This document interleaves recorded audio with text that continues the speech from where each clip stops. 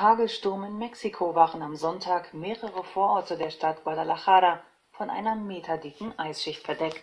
In der Millionenstadt nördlich der Hauptstadt ist es schon häufiger zu Hagelstürmen gekommen, allerdings nicht in dieser Heftigkeit.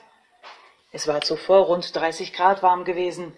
Laut Medienberichten beschrieb der zuständige Ministerpräsident das Vorkommen als unglaublich und brachte das nie dagewesene Phänomen mit dem Klimawandel in Verbindung.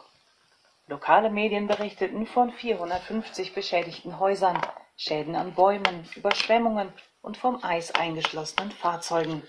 Einsatzwagen und Soldaten waren vor Ort, um die Straßen vom Eis zu befreien